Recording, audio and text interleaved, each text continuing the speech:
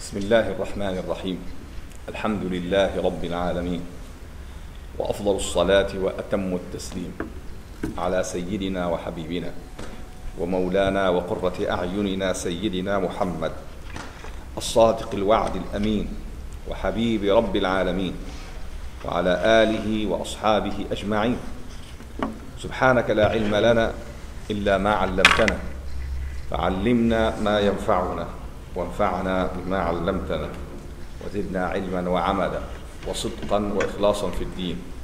وافتح علينا فتوح العارفين ووفقنا توفيق الصالحين وعد علينا بعوائدك الحسنى يا كريم. آمين. ما زلنا نتكلم عن ما يفسد الصلاة. قال الإمام نبدأ من الصفحة 340 كالعادة. حتى نربط المتن بعضه ببعض. نعم. ثم شرع يتكلم على ما يفسد الصلاة. فقال باب ما يفسد الصلاة وتفسد الصلاة بالضحك عمدا أو سهوا. فذا كان أو إماما أو مأموما. عمدا أو سهوا فذا كان أو إماما أو مأموما. ويقطع الفذ ويستخلف الإمام في الغلبة والنسيان. قاله في التوضيح عن ابن القاسم. قال أبو الحسن على الرسالة وعلى المشهور في النسيان والغلبة يستخلف الإمام ويرجع مأموما ويعيد وجوبا في الوقت وبعده. فإن عجز عن الإمامة تأخر مؤتما واغتفر له تغيير النية للضرورة وصلاته صحيحة. قال ويتمادى المأموم إن لم يقدر على ترك الضحك لحرمة الإمام. وفي إعادته قولان نقله في الأصل عن الأخفاس. وهذه المسألة إحدى المسائل التي يصير فيها المأموم من مساجين الإمام. الثانية من المسائل إذا كبر للركوع ولم ينوي به العقد. كبر للركوع ولم ينوي تكبيرة الإحرام. إذا لم يدخل في الصلاة بعد إلا أنه يجب عليه أن يمضي في صلاته مع الإمام. يجب عليه أن يستمر في صلاته مع الإمام. الثالثة إذا ذكر فائتة. الرابعة قلنا الفائتة دي فيها تفصيل. إما أن تكون فائتة من فوائت عدة يسيرة يسيرة وإما أن تكون فائتة فائتة الوقت. تذكرها في الوقت العصر تذكر ظهر اليوم في وقت العصر. يبقى هذا يختلف. هل هذا هنا؟ نعم. هو يستمر. نعم. ولم ينوي المسألة. قال وهذه مسألة تصير فيها المأموم مسجد الإمام. الثانية إذا كبر الركوع ولم ينوي به العقد الثالثة إذا ذكر فائتة أن يستمر؟ هل يعيد ولا لا يعيد؟ قال فإن كان اليسير زي ما تكلمنا في الفوائد الكثيرة قال هذه يعيد استحبابا وإن كان تذكر فائتة في هذا النهار في اليوم طبعا يعيد إيه؟ وجوبا. من أجل إيه؟ من أجل الترتيب بين الفرائض. من أجل الترتيب بين الفرائض. ماشي. الرابعة إذا ذكر الوتر ويعيد في الكل إلا الوترة ريح بالك. يعيد في الكل إلا إيه؟ الوتر. لكن مرة قلنا الفوائد إذا كانت يسيرة يعيد استحبابا وإذا كانت فائتة النهار يبقى إيش؟ يعيد وجوبا. ذكره التتائف الكبير.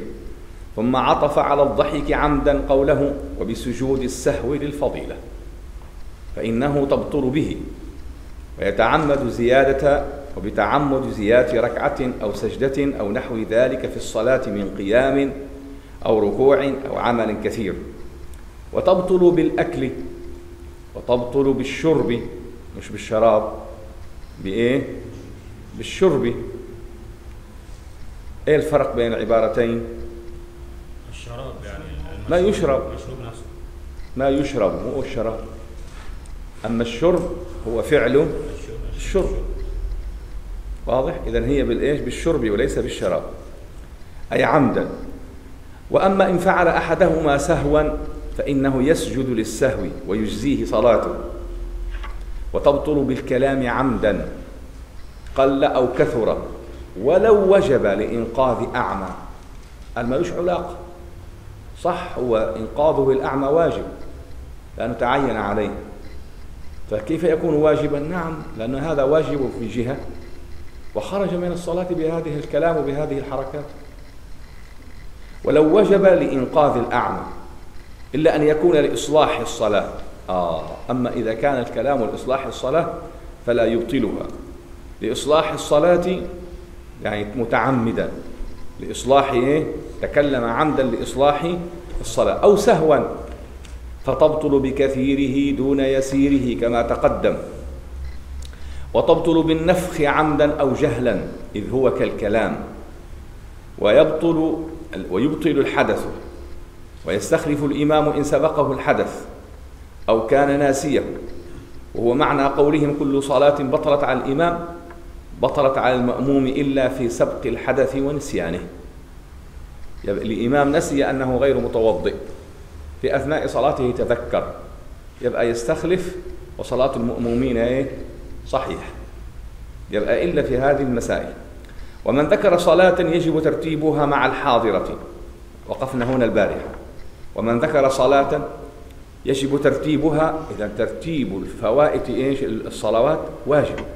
الترتيب بين الصلوات إيه؟ واجب. ومن ذكر صلاة يجب ترتيبها مع الحاضرة التي هو فيها يجب بطلت التي هو فيها فهمت إزاي؟ من تذكر صلاة وصفتها أنها يجب ترتيبها مع الحاضرة يبقى جواب من إيه؟ بطلت من ذكر صلاة صفتها يجب ترتيبها مع الحاضرة التي هو فيها بطلت التي هو فيها يبقى جواب من؟ جواب الشرط بطلت التي هو إيه؟ من ذكر صلاة بطلت التي هو إيه؟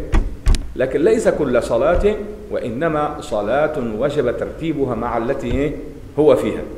وأشار لها بقوله وذكر الفائتة وهو كقول صاحب الرسالة. ومن ذكر صلاة في صلاة فسدت هذه عليه. قال قال أبو الحسن قال بعضهم وهو قول ابن حبيب أو هو على قول ابن حبيب الذي يقول تفسد بالذكر. ومنهم من قال يريد إذا أفسدها على نفسه. لقوله في المدونة القطع مستحب. إذا مجرد الذكر قال تبطل صلاته التي هو فيه. ماشي؟ وهناك من قال لا لا تبطل إلا إذا إيه؟ إذا أفسدها على نفسه. والقطع مستحب. وإن أتمها أجزأته ويعيدها في الوقت على جهة الاستحباب. يعيدها في الوقت على جهة إيه؟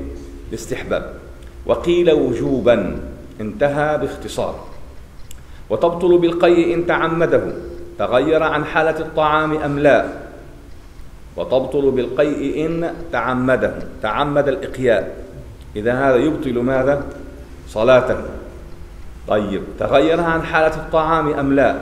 ومفهوم إن تعمده أنه لو عليه لو أن تعمده أنه لو غلبه لا تبطل. أي إلا أن يكون نجسا بأن تغير عن حالة الطعام تغيرا فاحشا. وتبطل بزيادة أربع ركعات سهوا في الرباعية والثلاثية وزيادة ركعتين في الثنائية. وظاهره ولو صلاة سفر وتبطل بسجود المسبوق مع الإمام للسهو قبليا كان أو بعديا وبسجود المسبوق مع الإمام للسهو قبليا كان أو بعديا إن لم يدرك معه ركعة كاملة مع الإمام. إذا بلاش معه دي مش كده؟ إن لم يدرك ركعة كاملة مع إيه؟ مع الإمام يبقى بلاش معه حطوها في في دائرة.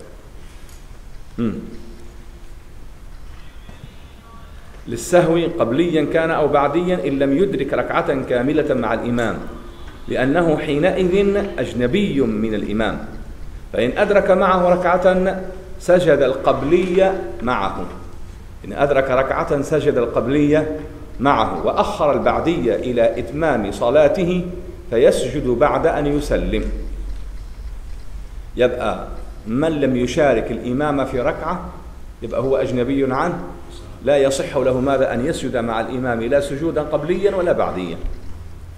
بمجرد أن الإمام ينتهي من صلاته فهمت إزاي؟ ويجلس القعود الأخير يبقى حين يسجد الإمام يهوي للسجود السهو قبليا أو قبل السلام أو بعديا أي بعد السلام يقوم هذا المسبوق ويتم صلاته لأنه ما زال لم يبدأ بعد لم يأتي, لم يأتي بأي ركعة.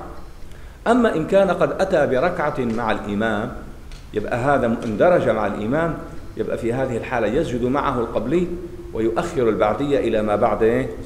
الصلاة. إيه البعدية؟ قال لما يقول الإمام السلام عليكم. مش ده البعدي؟ ثم يسجد للسهو قال هو لما يقول السلام عليكم يقوم ويقضي ما عليه. طيب وأخر البعدية إلى إتمام صلاته فيسجده بعد أن يسلم. وتبطل بترك السجود القبلي إن كان عن نقص ثلاث سنن. كالسورة مع أم القرآن. يعني كترك السورة التي مع أم القرآن. لأن قراءتها إيه؟ سنة. ما هي؟ سورة. والقيام لها سنة وكونها سرا أو جهرا سنة. يبقى أصبحت كم سنن؟ ثلاث. طيب. وكالجلوس الوسط وثلاث تكبيرات. آه الوطالة. يبقى وتبطل بترك السجود القبلي إن كان عن نقص ثلاث سنن وطالة. ومعيار الطول هنا هو العرف. يعني خرج من المسجد فهمت إزاي؟ قعد لكن فين؟ قعد يقرأ أو قعد يسبح ويقرا قرآن. وطال خرج عن يعني عن حال الصلاة. وهذا مداره ماذا؟ العرف. طيب ذلك وأطال ذلك فإن لم يطل سجد للسهو ولا شيء عليه. والله تعالى أعلى وأعلى.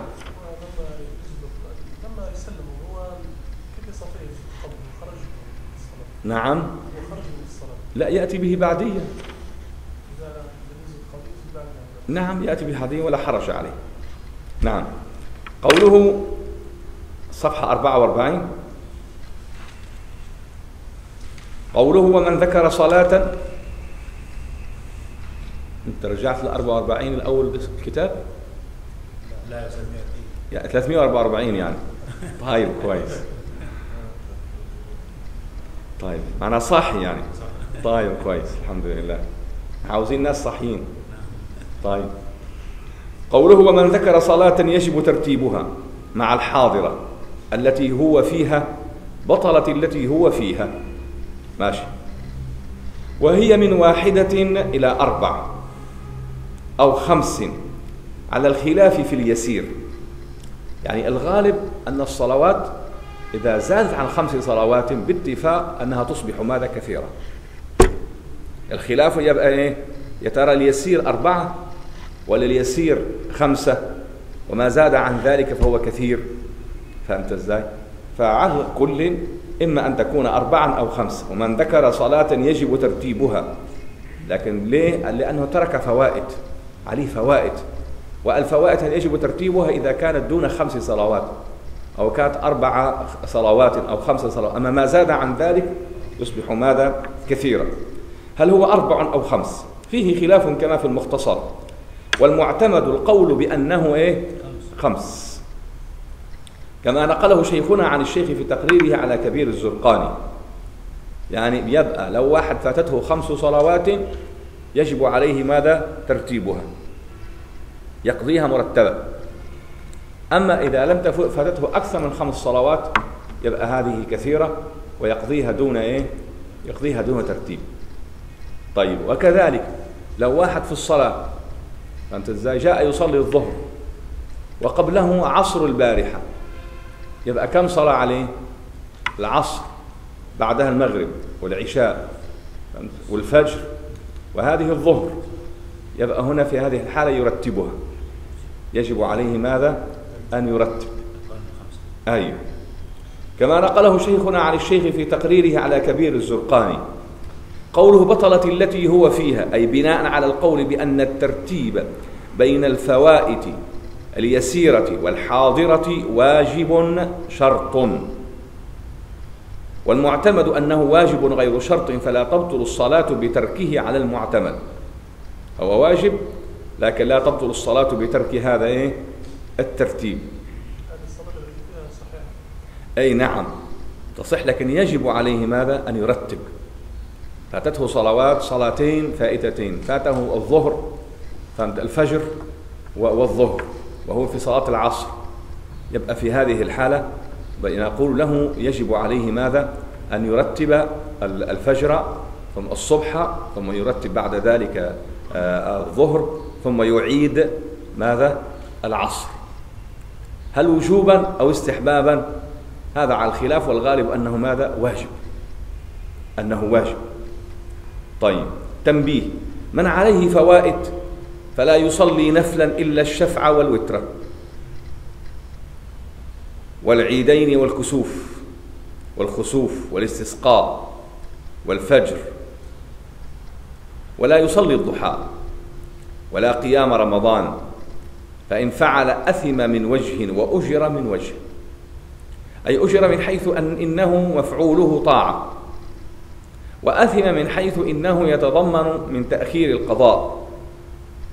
أفاده السكندري.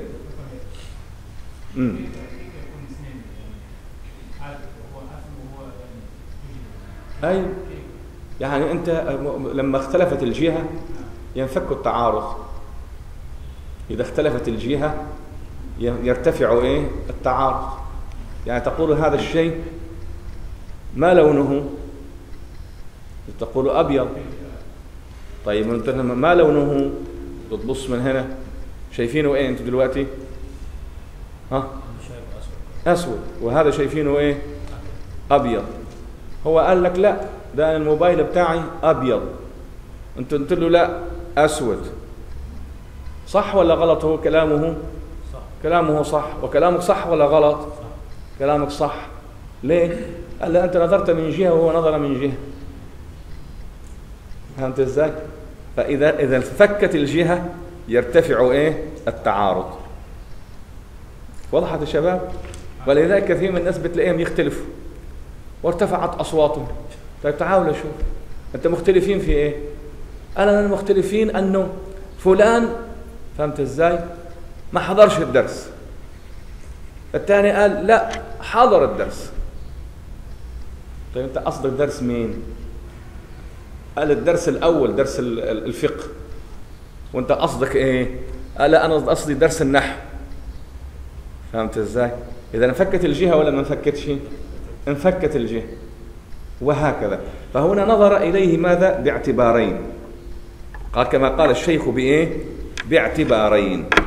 قال ولا فإن فعل أثم من وجه وأجر إيه؟ من وجه. قال من جهة أنه ترك الفوائد وأخرها هذا يعتبر أثم. ومن جهة أنه أتى بأعمال طاعة يبقى يأخذ ماذا؟ أجرا لكن نقول برضو لا ينبغي لصاحب القضاء أن يترك صلاة التراويح. ما يتركش صلاة التراويح. ليه؟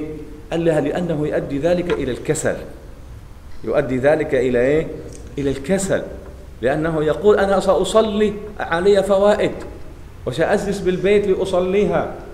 لكن ربما جلس في البيت ولم يصلي شيئا. صح ولا لا يا جماعة؟ ممكن يقعد في البيت وما يصليش ولا حاجة. فإذا الأفضل لا تعالى صلي. فهمت إزاي؟ واجتزئ مع كل فريضة صلي معها فريضة ماذا؟ من الفوائد. يكفي كده. اي نعم. طيب. قوله وهو قول ابن حبيب هو عبد الملك بن حبيب. أخذ عن عبد الله بن عبد الحكم.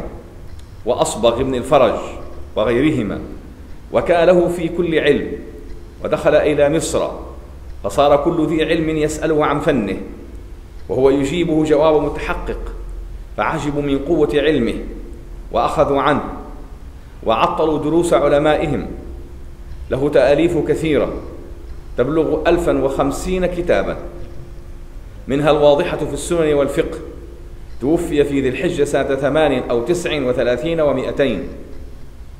إيه ده الفتح الإلهي ده؟ فتح رباني كبير. وعطلوا دروس علمائهم. الأقبل الناس عليه؟ حتى عطلوا دروس ماذا؟ نعم شيوخهم. لأن هذه الأمة العلم رحم بينها. العلم رحم بين هذه الأمة. يعني لا علاقة له لا بجهة ولا بمكان ولا بجنس. فهمت إزاي؟ لا ما له علاقة.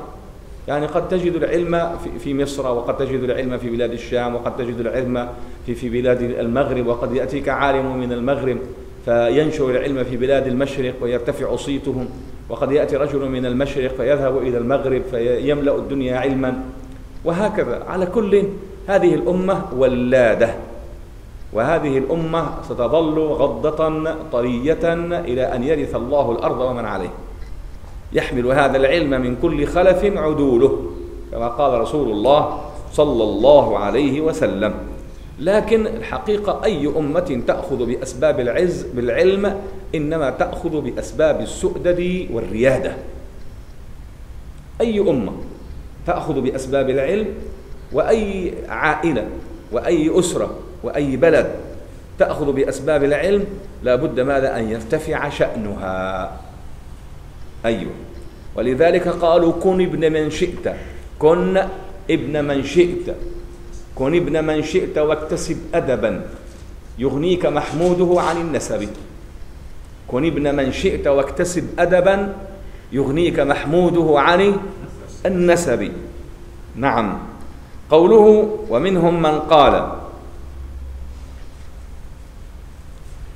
يريد إذا أفسدها على نفسه لقوله في المدونة القطع مستحب. نعم وذكر الفائتة يعني يبطل الصلاة ذكر الفائتة. هناك من قال لا ذكر الفائتة إذا أفسدها. ذكر الفائتة إذا إيه؟ تذكر الفائتة وأفسدها على نفسه. يعني أفسد للصلاة التي هو بها. ومنهم من قال أي جوابا عن كلام صاحب الرسالة بتمشيه على المعتمد وبمثله يجاب عن قول المصنف وذكر فائتة أي إذا أفسدها على نفسه. يعني لكن لو تمادى في هذه الصلاة التي هو فيها ولم يأتي بالفائتة حتى زادت عن خمس صلوات ما جابهاش وهو متذكر لها يبقى فيها أو أنه قضاها ولم يعد هذه الفائتة. صحت قال صحت صلاته وأجزأته ماشي؟ يعني لو واحد يصلي العصر وتذكر أن عليه ماذا؟ الظهر. الشيخ يقول ذكر الفائتة مفسد للصلاة التي هو إيه؟ فيها لأنه ذكر فائتة يجب ترتيبها مع التي هو إيه؟ فيها. ماشي؟ قال هناك ذكر الفائتة هذا مقيد يعني إذا أفسدها هو. تذكر الفائتة فأفسد الصلاة التي هو فيها راح قاطع قطع إيه الصلاة وراح استأنف وصلى الظهر ثم أعاد ماذا؟ العصر. أما لا أتم العصر. ثم بعد ذلك إيه؟ جاء يصلي الظهر. هل نطالبه؟ ماذا؟ هل نطالبه بال آه, آه بالعصر مرة ثانية؟ المعتمد يجب عليه أن يعيد إيه؟ العصر. طيب ما عدهاش يا أخي؟ حنقول له إيه؟ أجزأته ولا ما أجزأته؟ أجزأته لأنه صلاها إيه؟ صلاة صحيحة. إذا ذكر الفائتة هنا له معنيين. إما أن نحكم عليها بالبطلان. فهمت علي شلون؟ ويجب عليه قضاؤها إعادتها. وإما أن نقول ذكر الفائتة معناها إذا أفسدها على نفسه نعم هذا هو المفسد ماذا؟ للصلاة. ومنهم من قال يريد إذا أفسدها على نفسه. لقوله في المدونة القطع إيه؟ مستحب. قوله القطع مستحب فإن قلت الترتيب إما أن يكون واجبا فيلزم القطع أو مستحبا فيلزم التمادي. قلت يمكن أن يقال الترتيب واجب ولم نقل بوجوب القطع. الترتيب واجب ولم نقل بوجوب القطع يعني يستمر في صلاته يكملها ولا يقطعها ثم يأتي بعد ذلك بالمتروكة بالمنسية ثم يعيد بعد ذلك وجوبا إيه؟ لأنها في حكم الصلاة الباطلة. نعم؟ الأولى نحكم هي في حكم الباطلة في حكم الصلاة إيه؟ الباطل لأنه يجب عليه إعادتها. لكن لولا أنه لم يصلها لم يعدها أجزأته. أفاده الشيخ في الحاشية. وأجاب شيخنا الأمير بأن الترتيب إنما هو واجب في الابتداء قبل التلبس بحرمات العبادة. آه فاتنا كلمة كلام تاني. الترتيب واجب إمتى؟ قبل التلبس بحرمات العبادة. الشيخ في المختصر يقول القطع مستحب. يعني لو قطع مستحب. لا ما قطعش الصلاة يا أخي. ما حكمها؟ صحت. ويجب عليه أن يصلي الظهر. لكن قلنا الترتيب واجب يعني يجب عليه أن يعيد العصر لا لأنها فسدت لكن من أجل الترتيب الواجب اللازم بين الفرائض. طيب. قال وإن أتمها أجزأته ويعيدها في الوقت على جهة الاستحباب. وقيل وجوبا. أنتم معانا فيها؟ انتهى باختصار. وتبطل بالقيء. آه ويعيد قوله ويعيدها في الوقت على جهة الاستحباب أي مراعاة لمن يقول يقول باستحباب إيه؟ الترتيب. أما إذا أخذنا بقول من يقول بوجوب الترتيب إذا يعيدها إيه؟ لا لأن صلاته فسدت. فهمت عني شلون؟ لأن لا إنما من أجل أن الترتيب واجب. قوله ولذلك كثير من الناس اليوم بيسألون أنا دخلت صلاة المغرب لقيت الإمام في صلاة المغرب مثلا أو العشاء وأنا ما صليتش المغرب. فهمت إزاي؟ أعمل إيه؟ وبقول له يجب عليك في هذه الحالة أن تصلي مع الإمام صلاته. مش إذا أقيمت الصلاة فلا صلاة إلا إيه؟ إنك صلاة الوقت. فهمت إزاي؟ تصلي صلاة الوقت. ثم بعد ذلك تصلي المغرب. وبعد المغرب تعيد العشاء. فهمت؟ شلون؟ تعيد العشاء. ليه؟ على القول بوجوب إيه؟ الترتيب بين بين الفرائض. نعم. وعلى قول باستحباب لا يعيد. لو أنه لم لم يعد. فهمت علي؟ شلون؟ واحد يقول لك أنا أول مرة الحاجة دي أول مرة أسمعها. بيقول لك علمت شيئا وغابت عنك أشياء. علمت شيئا وغابت عنك إيه؟ أشياء. طيب. معتمد الإعادة. آه.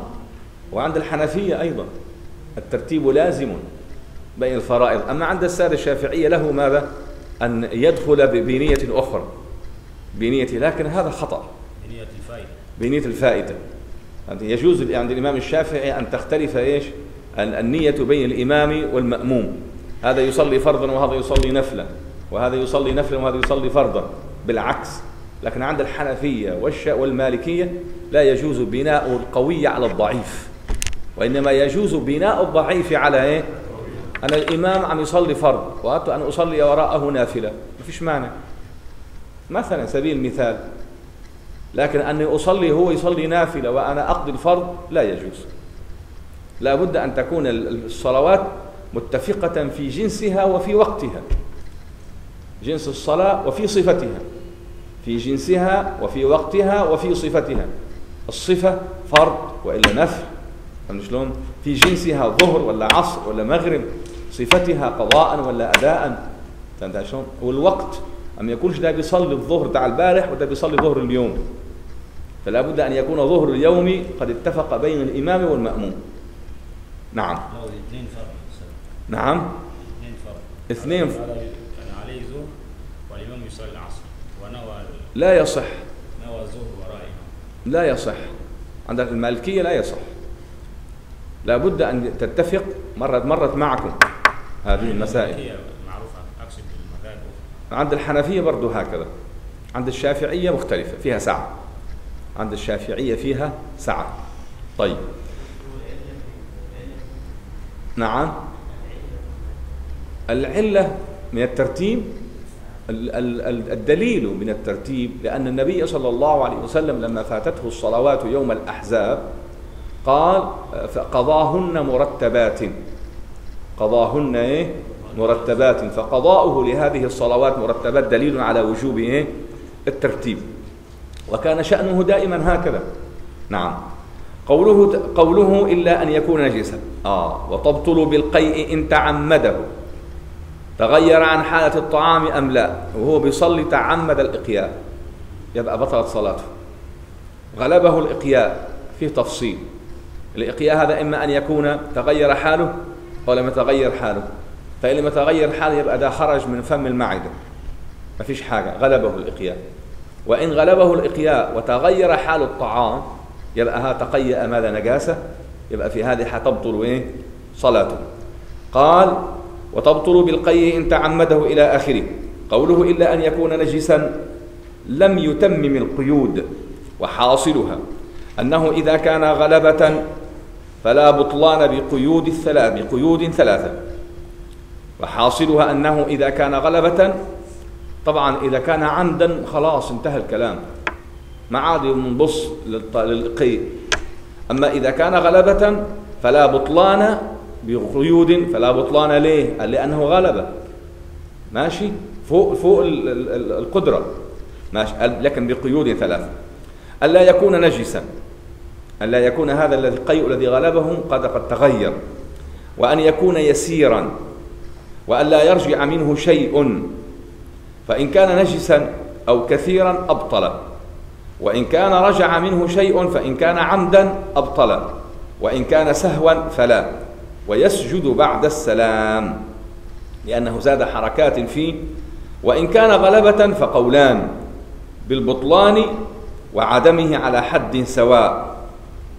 كما قال ابن عرفة ومثل القيء القلس. طيب. فإن كان عمدا أبطل. آه، وإن رجع منه شيء فإن كان عمدا أبطل. وإن كان سهوا فلا ويسجد بعد السلام. طيب وإن كان غلبة فقولان بالبطلان وعدمه على حد سواء. كما قال ابن عرفة. يعني في قولين إذا كان غلب في قولين على حد سواء على من دون تفصيل. ومثل القيء القيس. قلس قوله بأن تغير عن حالة الطعام تغيرا فاحشا أي بأن شابه أحد أوصاف العذرة لأن المعتمد أن القيء لا ينجس إلا إذا شابه أحد أوصاف العذرة كما في حاشية الخرشي وقرره شيخنا خلافا لما في الحاشية هنا فإنه ضعيف. وأما القلس فلا ينجس إلا بمشابهة أحد أوصاف العذرة قولا واحدا. قوله بزيادة أربع ركعات. نعم. القلس يعني هو ما كان في فم المعدة. في فم المعدة ما زال لم ينزل تحت. فهذا الذي في معه في فم المعدة في الغالب يشبه ماذا؟ آه يشبه البصاق. آه ما زال الطعام ما زال موجود. فهمت إزاي؟ آه. لا يعتبر قيئا نعم. فإذا خففوا في القلس ما ليس في القي لأن القي في الغالب لما يكون قيء كثير يخرج من جوف المعدة. بينما القلس هو ما يخرج ماذا؟ مع الإنسان راح يتكرع يخرج معه مع أو يتجشأ يخرج معه شيء ماذا؟ من الماء. هذا اسمه ماذا؟ القلس. قوله بزيادة أربع ركعات أي متيقنة. بزيادة أربع ركعات إيه؟ وتبطل بزيادة أربع ركعات سهوا في الرباعية والثلاثية زاد أربع ركعات متيقنة. تيقن أنه زاد أربع إيه؟ ركعات. تيقن. أقول له أنت صليت فينا أربع ثمانية. بعدين قال لي وفعلا صح؟ عشان كده بقول في نفسي ده بقالي كتير بصلي. ما كانش تخلص الصلاة. طيب. أما لو شك فيها فيجبر فيجبر بالسجود. وعقد الركعة هنا برفع الرأس من ركوعها. الركعة تنعقد إيه؟ برفع الرأس من ركوعها. فإذا رفع رأسه من الركعة الثامنة في الرباعية أو من الركعة السابعة من الثلاثية أو من الركعة الرابعة من الثنائية سهوا بطلت إيه؟ صلاته. ماشي. نعم. يجبر إذا تيقن أنه صلى زاد أربع ركعات أو زاد آه، في الرباعية أو في الثلاثية وتيقن أنه زاد إذا تبطل هنا إيش؟ صلاة تنقلب نفلا. يكملها نفلا ثمان ركعات ويعيد الصلاة من أول وجديد. لا تجبر. متى قلنا بطلت؟ يعني لا تجبر.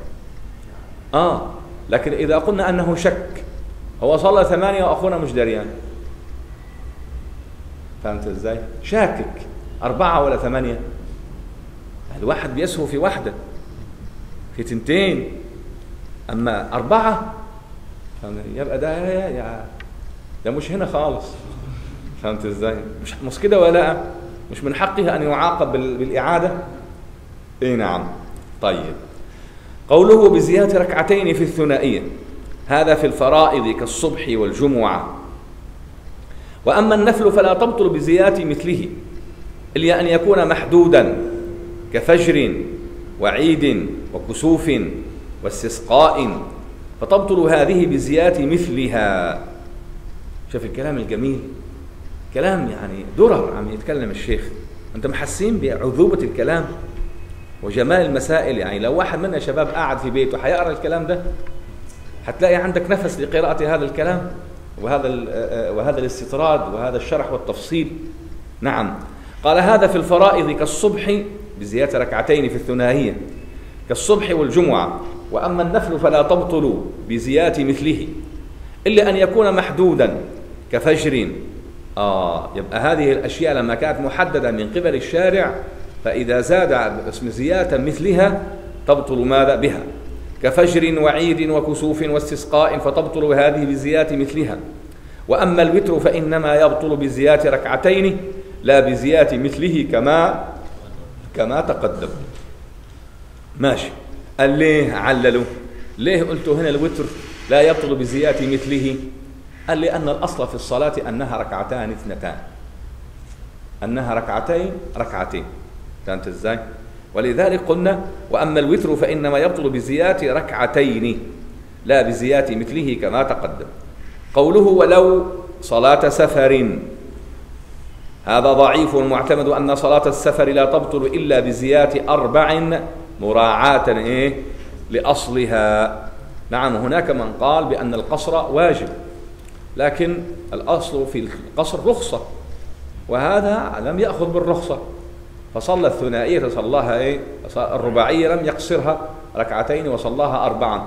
فلا نقول ببطلان إيه؟ صلاته لأنها رخصة. قوله إن لم يدرك معه ركعة. وتبطل بسجود المسبوق مع الإمام للسهو قبليا كان أو بعديا إن لم يدرك معه ركعة كاملة يدرك ركعة كاملة مع الإمام. قلنا معه نشيل هذه. قوله إن لم يدرك معه ركعة إن لم يدرك ركعة هذا قيد في القبلي. وأما البعدي فتبطل بسجوده. فتبطل إيه؟ بسجوده. ولو أدرك ركعة على المعتمد. فالحاصل أنه إذا سجد معه البعدية بطلت أدرك معه ركعة أم لا. ماشي؟ البعدي السجود البعدي المسبوق مطلقا لا يسجد مع الإمام البعدي. ماشي؟ سواء أدرك مع الإمام ركعة ولا ما أدركش ركعة. خلي بالنا المسبوق الذي سبق بركعة أو بأقل منها لا يسجد مع الإمام السجود البعدي. ليه؟ لأنه لم يتم صلاته بعد. وإذا سجد معه القبلي فكذلك إن لم يدرك ركعة. آه. فالسجود القبلي ده السجود القبلي هذا يأتي به من كان مع الإمام إيه؟ أدرك مع الإمام ركعة. أما من لم يدرك مع الإمام ركعة فهمت إزاي؟ يبقى هذا لا يسجد مع الإمام لا القبلي ولا إيه؟ ولا البعدي قال فكذلك وإذا سجد معه القبلية فكذلك. إن لم يدرك ركعة وإلا فلا بطلان بل هو مبطل بالسجود. ومحل البطلان في المسألة حيث سجد معه عمدا وكذا جهلا على المعتمد كما في حاشية الخرشي وقرره شيخنا. وأما سهوا فلا فلا بطلان. وأما سهوا فلا بطلان نعم. لكن طبعا يسجد إيه؟ للسهو. طيب. قوله سجد القبلية معه. أي قبل قضاء ما عليه. ولو لم يدرك موجبه. بل يسجده قبل ولو تركه الإمام. فيسجده قبل ولو تركه الإمام. فلو لم يسجد معه وأخره لتمام صلاة نفسه سهوا فلا تبطل وكذا إن أخره عمدا أو جهلا لا تبطل على المعتمد كما في حاشية الخرش وقرره شيخنا خلافا لما في الحاشية هنا. بعض أهل العلم من السادة المالكية يقول أن العامة يعني نأمرهم بأن يأتوا بالسجود السهو بعديا كله. بعديا إيه؟ كله. ليه؟ قال لأنهم لا يفرقون بين النقص وبين الزيادة ويتشوشون. فخليه يجيبه كله إيه؟ بعدي. ولما يقول يجيبه كله بعد مذهب الحنفية الحنفية عندهم السجود كله ماذا؟ بعدي. فإن سجد قبل السلام كره. فهمت إزاي؟ فإذا وهذا رحمة بإيه؟ بالعامة. وهذا رحمة ماذا؟ بالعامة. طيب. قوله وحاصل هذه المسألة. أن المسبوق إذا لم يدرك ركعة مع الإمام فلا يطالب بسجود أصلا. فلو سجد القبلية أو البعدية قبل قضاء ما عليه وقبل السلام بطلت صلاته إن كان عمدا أو جهلا, جهلا لا سهوا وأما إن أدرك معه ركعة ففي البعدي يؤخره وجوبا. فإن قدمه عمدا أو جهلا بطلت لا سهوا وفي القبلي يسجد قبل القضاء. فلو أخره عمدا أو جهلا أو سهوا فلا تبطل على المعتمد. فلو قدم الإمام السجود البعدي أو أخر السجود القبلي ورآه مذهبا له فيتبعه المسبوق بأن يفعل القبلية معه والبعدية بعد قضاء ما عليه فإن خالفه فيهما صحت. وأما إن أخر الإمام السجود القبلي عمدا أو جهلا فيفعله المأموم معه إن أدرك معه ركعة وكان عن ثلاث سنن. وإلا أخره لتمام الصلاة. وأما لو قدم الإمام السجود البعدي عمدا أو جهلا فلا يقدم المسبوق معه. فلو قدمه قدم صحت وإن ترك إمامه السجود القبلي وكان عن ثلاث سنن وطال بطلت صلاة الإمام وصحت صلاة المأموم إن أتى به. المأموم إيه؟ نعم إن أتى به المأموم وإن ترك إمامه السجود القبلية وكان عن ثلاث سنن مش مرت معانا دي؟ مما يبطل إيه؟ الصلاة. وطال. التهى وانشغل وطال. بطلت صلاة الإمام وصحت صلاة المأموم إن أتى به. وتزاد هذه على قولهم كل صلاة. بطلت على الإمام. بطلت على المأموم إلا في سبق الحدث ونسيانه. يعني ويزاد عليه أيضا. لو ترك الإمام سجود السهو عن ثلاث سنن وطال بطلت صلاته دون صلاة ماذا؟ المأموم إذا أتى به قوله وأخر البعدية إلى تمام صلاته فيسجده بعد أن يسلم مين ده؟ المسبوق الذي أدرك مع الإمام إيه؟ ركعة أما المسبوق الذي لم يدرك مع الإمام ركعة ماذا؟ فهذا لا يقضي لا يسجد معه لا القبلية ولا إيه؟ ولا البعدي. ماشي. قوله أخر البعدي. أي وأخر المسبوق المدرك ركعة ركعة السجود البعدي وجوبا. فإن قدمه عمدا بطلت. وكذا جهلا على المعتمد. كما تقدم في حاشية الخرشي خلافا لما نقله في الحاشية هنا عن ابن القاسم من عدم البطلان في الجهل فإنه ضعيف. وأما لو قدمه سهوا فلا بطلان كما تقدم. قوله بترك السجود القبلي وبترك السجود وتبطل بترك السجود القبلي إن كان عن نقص آه هي دي المسألة جات معنا عن نقص ثلاث سنن. فإن قلت قوله بترك السجود القبلي فإن قلت لما حكمتم بالبطلان في ترك السجود القبلي مع الطول مع أنه سنة. وقلتم إذا ترك جميع سنن الصلاة عمدا أو جهلا فلا تبطل بذلك عند ابن القاسم. ويستغفر الله وهو المعتمد. قلت أجاب الشيخ في حاشية الخرش بأن ابن القاسم نزل السجود القبلي منزلة الفرض. وأجاب شيخ الأمير بأن البطلان في ترك السجود القبلي مراعاة للقول بوجوبه ولا غرابة في بناء مشهور على ضعيف. نعم نعيد هذه المسألة فإن قلت لما حكمتم بالبطلان في ترك السجود القبلي مع الطول. هي مسألة معانا هنا. وتبطل بالسجود ترك السجود القبلي إن كان عن نقص ثلاث سنن. مع الطول. مع أنه سنة. مع أنه ماذا؟ السجود القبلي سنة. طيب. وقلتم إذا ترك جميع سنن الصلاة عمدا أو جهلا فلا تبطل بذلك عند ابن القاسم. ويستغفر الله وهو المعتمد. قلت أجاب الشيخ في حاشية الخرش بأن ابن القاسم نزل السجود القبلي منزلة الفرض. وأجاب شيخنا الأمير بأن البطلان في ترك السجود القبلي مراعاة للقول بوجوبه. أيوة أغلق وأفتح وأفتحه مرة ثانية. تمام. تمام. طيب. وأجاب شيخنا الأمير بأن البطلان في ترك السجود القبلي مراعاة للقول بوجوبه. ولا غرابة في بناء مشهور على ضعيف. قوله كالسورة مع أم القرآن عن ثلاث سنن. أن يعطي مثال لترك ثلاث سنن. الكالسورة أي بناء على أن صفتها من سر أو جهر سنة وهو المعتمد. يبقى السورة قراءتها سنة الاتيان بها سنة والقيام لها سنة وكونها سرا أو جهرا سنة. قوله وكالجلوس الوسط. هذا ضعيف لأنه إذا تركه ترك سنتين ومستحبا لا ثلاث سنن كما تقدم أفاده الشيخ. قوله وطال هذا إذا كان الترك سهوا. أما إن كان عمدا فتبطل مطلقا طال أم لا؟ نعم عم يقول إذا ترك السجود القبلية إيه؟ وطال. قال هذا إذا تركه سهوا. أما إذا تركه ماذا؟ عمدا تبطل مطلقا. كما في الحاشية هنا وحاشية الخرشي خلافا للسنهوري وإن اعتمد النفراوي كلامه وهو ضعيف والطول معتبر بالعرف عند ابن القاسم وهو المعتمد وعند أشهب بالخروج من المسجد. ومثل الطول ما إذا حصل مانع كحدث عمدا أو سهوا أو تكلم أو لابس نجاسة أو استدبر القبلة إن كان متعمدا في هذه الثلاثة.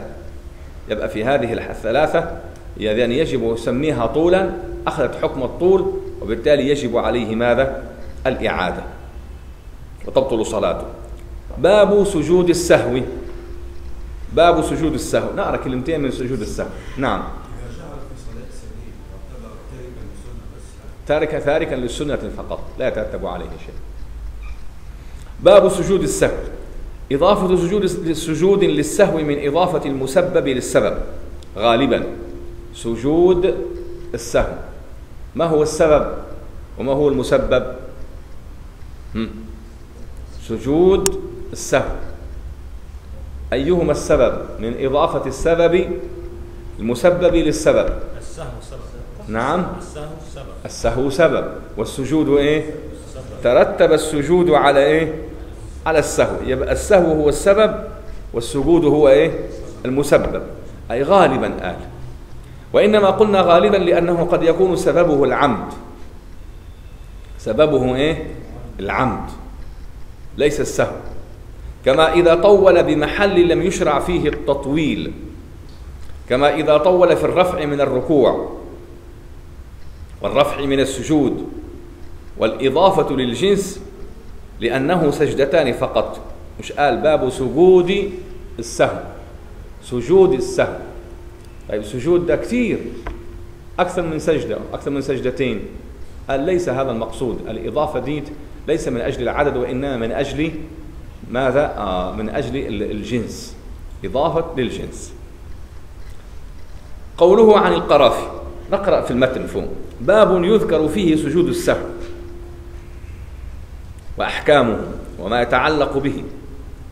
فائدة نقل التتائي عن القرافي أن التقرب إلى الله تعالى بالصلاة المرقعة المجبورة إذا عرض فيها الشك أولى من الإعراض عن ترقيعها والشروع في غيرها.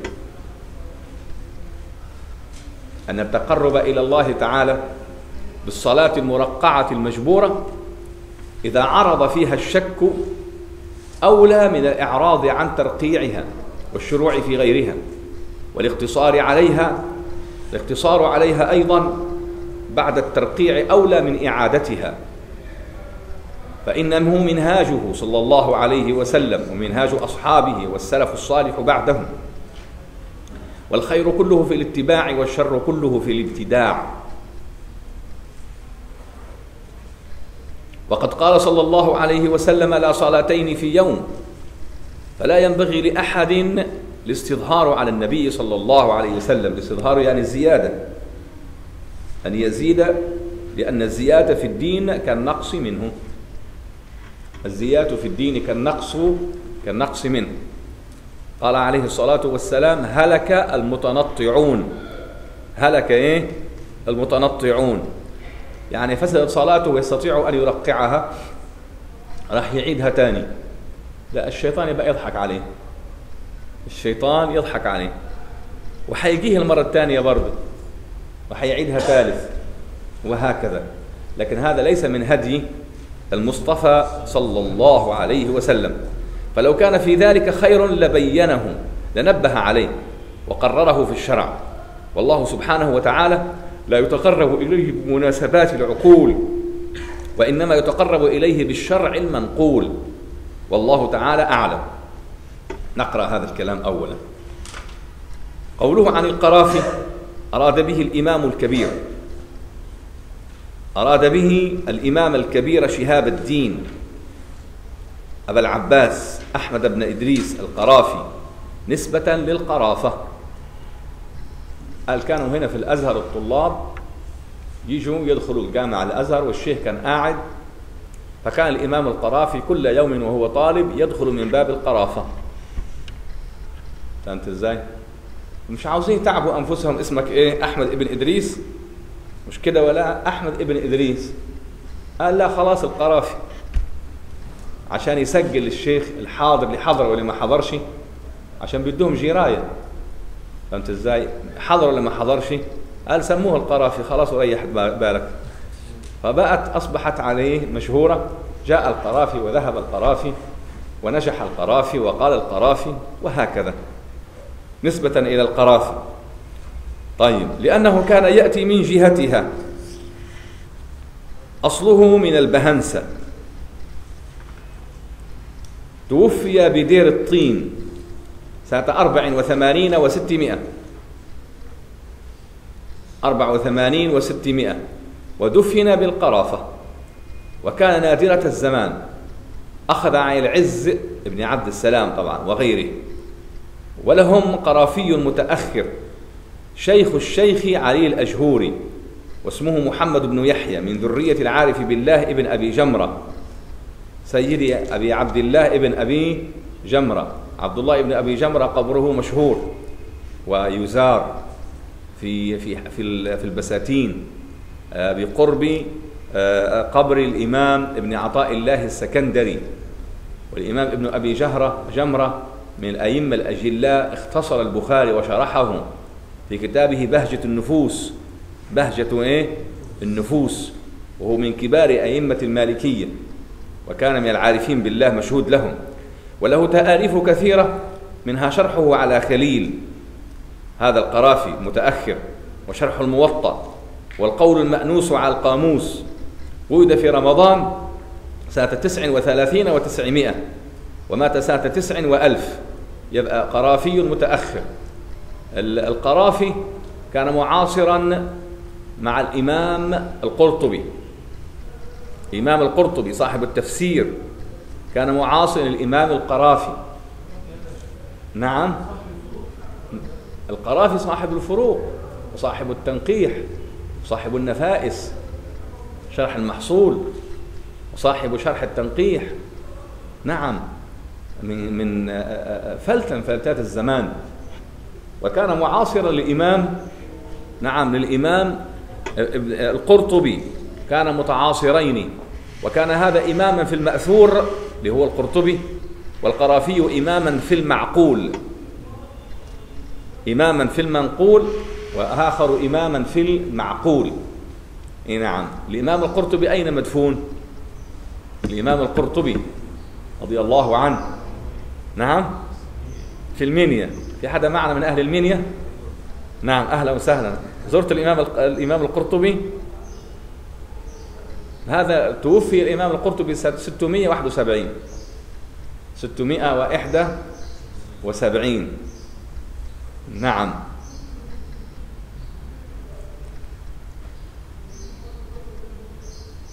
رضي الله تعالى عنهما جميعا. يعني الإمام القرطبي يأتي من قرطبة ويدفن هنا. فهمت إزاي؟ وهو صاحب كتاب أحكام القرآن. أحكام القرآن اختصر فيه كتاب أنوار الفجر للإمام ابن العربي. وابن العربي كتابه أنوار الفجر هذا كتبه أملاه على تلاميذه إملاء في عشرين عاما. وبلغ نحو من ثمانين مجلدا. ولذلك الإمام القرطبي يقول قال ابن العربي ويكثر من النقل عليه. فهو اختصار لكتاب أنوار الفجر. نعم. نعم. للأسف. أنوار الفجر يعني آه، ليس موجودا وليت نعثر عليه. وكثير من كتبنا الإسلامية ما زالت إلى الآن في رهينة الرفوف في الأسكريال في مدريد. وحدثني رجل مطلع من بلاد الأندلس من غرناطة شقورة. هذا الرجل يقول كانوا الآن يجدونه وابنته أيضا أخبرتني وهي باحثة في التراث الإسلامي ومسلمون. الحمد لله وعندهم معهد ديني هناك في شقورة. ويعلمون الناس القرآن والفقه ويذهب إليهم العلماء ويزورونهم. قايمين بنهضة كبيرة علمية اسمه الدكتور عبد الصمد. أنطونيو روميرو دكتور في الشريعة الإسلامية. نعم هذا الرجل يقول الآن أصبحوا يعثرون على مكاتب كاملة إسلامية وراء حيطان موهومة. حتى قالت ابنته وهي باحثة وهي أستاذة كبيرة هنا في دار الكتب العلمية المصرية تقول أنه وراء يستشعرون أن تحت كل بيت في قرطبة مكتبة. يستشعرون أن تحت كل بيت في قرطبة مكتبة إسلامية. فلعل الزمان ربنا تعالى يكرمنا ونعثر على كتاب ماذا؟ أنوار الفجر من تأليف الإمام ابن العربي. وما أدراك ما القاضي أبو بكر. فإن أحيانا الله تعالى نقرأ كتاب أحكام القرآن لابن العربي إن شاء الله تعالى لأنه ملئ علما. وهو كتاب خاص بطلاب العلم. لا يقرأ في مجالس العامة وإنما يقرأ ماذا لطلاب العلم؟ لكن بعض أن يأخذوا حظهم من الفقه المالكي لأن الرجل إمام مالكي كبير. إيه نعم فمن لم يقرأ الفقه المالكي لا يستطيع أن يتفاعل مع أو يستفيد فائدة كبيرة من تحريرات الإمام ابن العربي. طيب. يقول الشيخ انتهينا منه. قوله المجبورة هو لازم لقوله المرقعة. طبعا. حين رقعت جبرت. قوله أولى. اعلم أن أولى في الموضعين بمعنى الواجب. لأن قطع العبادة ممنوع. ماذا يقول الشيخ؟ أن التقرب إلى الله تعالى بالصلاة المرقعة. تعال إلى هنا يا سيدي. تفضل إلى هنا. تفضل إلى هنا. افتح تفضل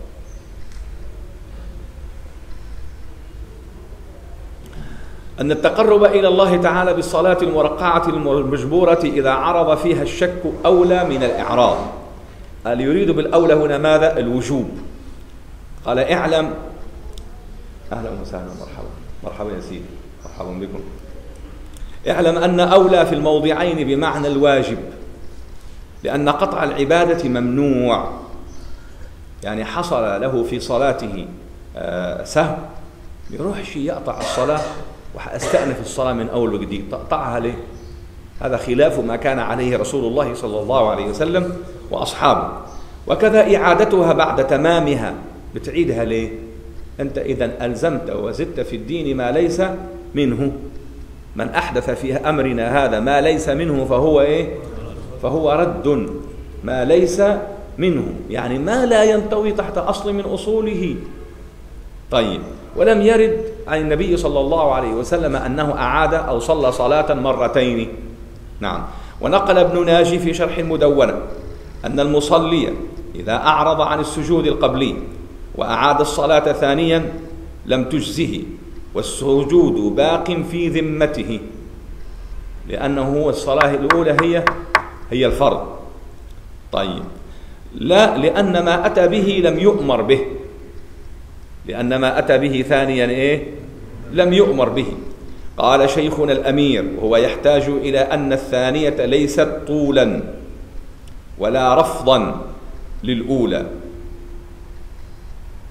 بل السجود بل للسجود فقط كما في الزرقاني أو يحمل على أنه لسنتين ولا يفو- يفوت بالطول كما في الرماس انتهى. وذكر ابن أبي جمرة أن الصلاة التي يسهو فيها المصلي ويسجد لها أفضل من سبعين صلاة لا سهو فيها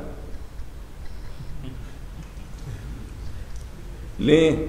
قال لأنه حين يسجد يسهو ويسجد يبقى هنا أرغم الشيطان أرغم إيه؟ الشيطان فالشيطان يقول يا ويله دعي ابن آدم إلى السجود فسجد ودعيت إلى السجود ودعي هو إلى السجود فلم فلم يسجد يسجد يسجد. قال الشبرخيتي في شرح خليل. ووجه ذلك أن الصلاة إذا كانت بغير سهو احتملت القبول وعدمه. وإن كانت بالسهو وسجد له فقد أرغم أنف إيه؟ وأنا قلت لك إيه؟ مش كده؟ وسجد فقد أرغم أنف الشيطان كما قال صلى الله عليه وسلم. فتلك ترغم أنف إيه؟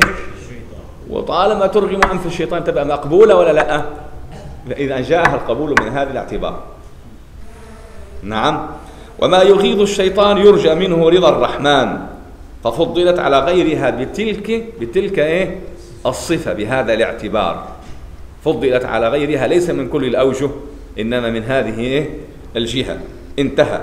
قوله منهاجه أي ومنهاج فإنه اختصار إلى آخره فإنه منهاجه صلى الله عليه وسلم أي طريقته. قوله لا صلاتين في يوم أي لا تعاد الصلاة الواحدة في يوم مرتين. فإذا أعادها فقد خالف النهي وارتكب الحرمة ومحل ذلك في غير الإعادة لفضل الجماعة بشرطه المذكور في المحل في محل. هتيجي معانا صلاة الجماعة والكلام عنها يقول هذا الكلام كلهم بالنسبة للإعادة في غير صلاة الجماعة. لا صلاة الجماعة يبقى شيء آخر. دخل النبي صلى الله عليه وسلم فوجد رجلا جالسا والصلاة قائمة. بهذا المعنى أو رآه جالسا لم يقم ليصلي. فقال لم لا تصلي؟ فقال صليت يا رسول الله. فقال صلي. الله تعالى يقول واركعوا معا. طيب يبقى أنا صليت في بيتي لكن الناس مش عارفين. وقيمة الصلاة والتاني قاعد أخونا هناك. حدا حيعرف أنه صلى في بيته؟ يبقى إيش؟ رحم الله امرأ جب المغيبة عن عن نفسه. وقال تعالى واركعوا مع مع الراكعين. طيب قوله. لا صلاتين في يوم أي لا تعاد الصلاة الواحدة في يوم مرتين فإن أعادها فقد خالف النهي وارتكب الحرمة. ومحل ذلك في غير الإعادة لفضل الجماعة بشرطه المذكور في محل أي في محله. يعني أنه زاد في دين الله تعالى ما ليس منه. أنا دائما بقول الزيادة في الدين كال كالنقص منه. الزيادة في الدين كالنقص إيه؟ منه. ولذلك إن المنبت لا أرضا قطع ولا ظهرا إيه؟ أبقى. قال صلى الله عليه وسلم إن المنبت لا ظهرا قطع نعم لا أرضا قطع ولا ظهرا أبقى. صلوات الله وسلامه عليه. قوله الاستظهار فلا ينبغي لأحد الاستظهار على النبي صلى الله عليه وسلم. يعني الاستعلاء على النبي بهذا الأمر صلى الله عليه وسلم. جاءه نفر ثلاثة فسأل لم يجد النبي صلى الله عليه وسلم في بيته فقال سألوا عن عبادة النبي صلى الله عليه وسلم فقيل لهم إن رسول الله صلى الله عليه وسلم ينام بالليل ويصلي. ويفطر بالنهار ويصوم ويتزوج النساء. فقال هؤلاء الرهط أين نحن من رسول الله صلى الله عليه وسلم؟ أين نحن من رسول الله عليه الصلاة والسلام؟ فنعم. فقال أحدهم أما أنا فسوف أقوم الليل ولا أنام.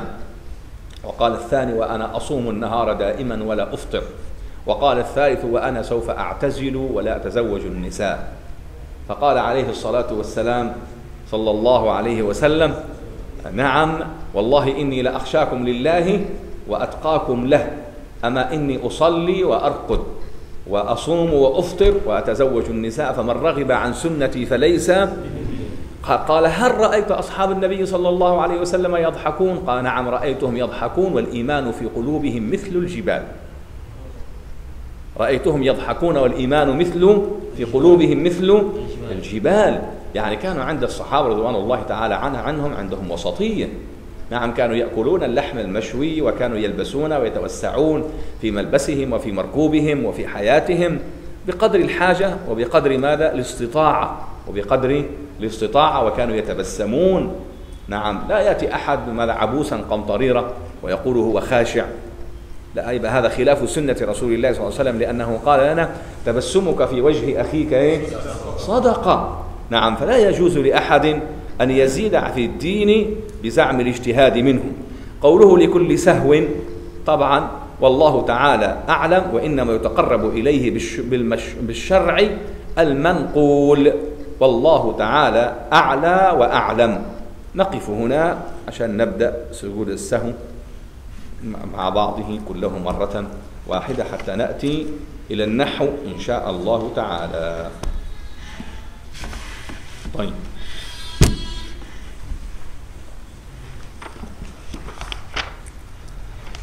بسم الله الرحمن الرحيم وصلى الله على سيدنا محمد وعلى آله وأصحابه أجمعين.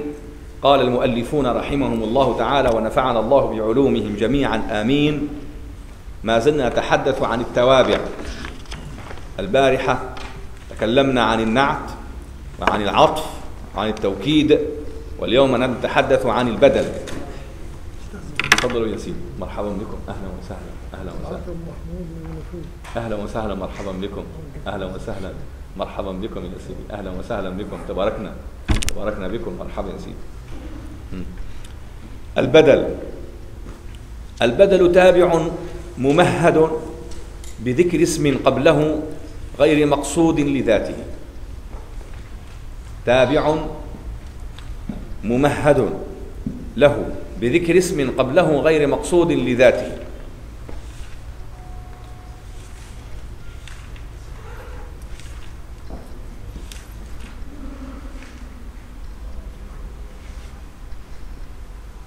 نعم. وهو أربعة أنواع.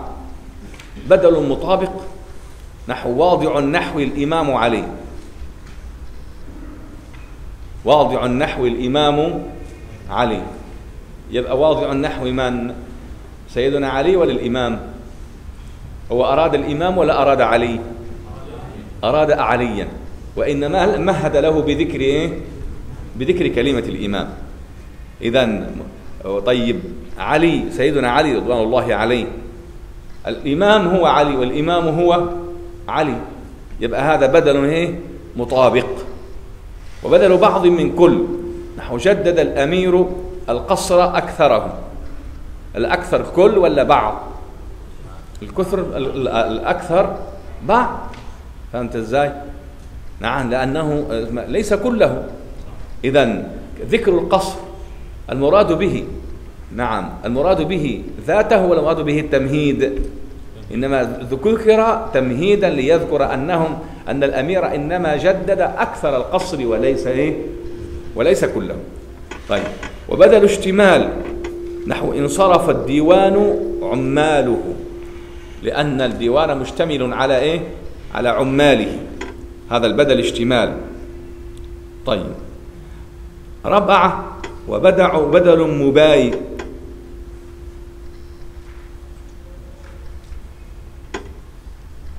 بدل عندكم إيش الكتاب هناك؟ مباين. أيوه بدل غلط بدل آه نحو خذ درهما دينارا. خذ درهما يسم- يسموه بدل إيه؟ بدل الغلط. يسمونه بدل الغلط. طيب ويجب في بدل البعض والاشتمال أن يتصل بضمير يعود على المبدل منه كما رأيت. ويجب في بدل البعض والاشتمال أن يكون متصلا بضمير يعود على المبدل طيب فين الضمير؟ انصرف الديوان عماله طيب بدل البعض جدد الأمير القصر أكثر أكثره تمام. أمثلة. للبدل المطابق اهدينا الصراط اهدينا الصراط المستقيم. طيب يبقى اهدينا الصراط المستقيم. أين البدل وأين الممهد؟ البدل يبقى الصراط تمهيد. آه، نعم. آه اللي بعدها. نعم. اهدنا الصراط المستقيم مستقيم صفة. صراط الذين أنعمت عليهم. فهذا البدل ماذا؟ نعم. بدل مطابق. لأن هذا هو عين ذاك. اهدنا الصراط المستقيم صراط الذين أنعمت عليهم. الفاتحة.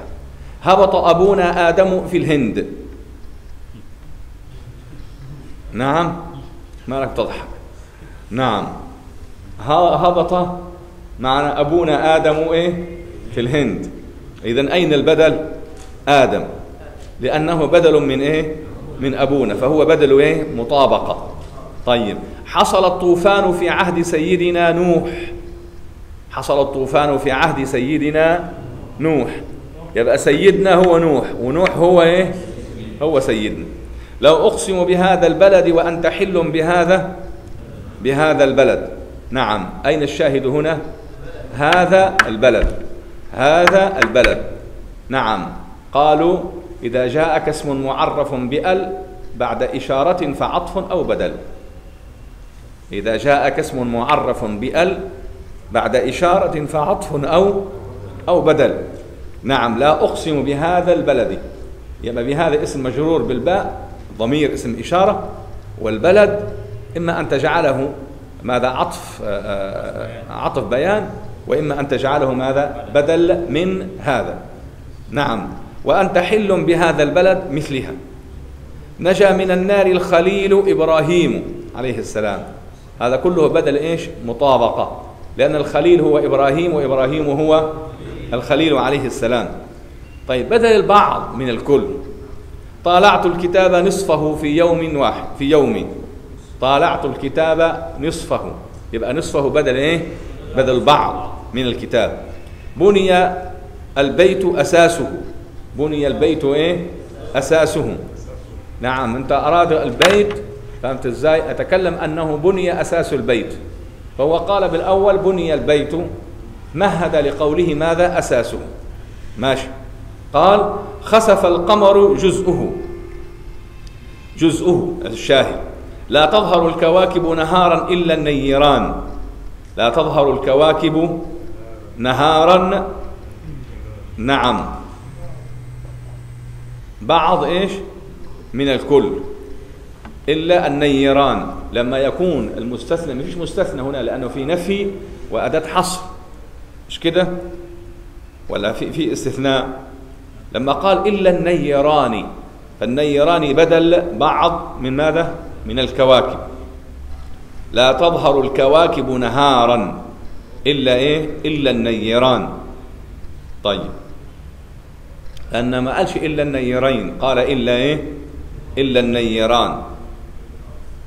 طيب لكن أفضل يكون يكون مستثنى أو سبب نعم هو يجوز فيه الوجهان.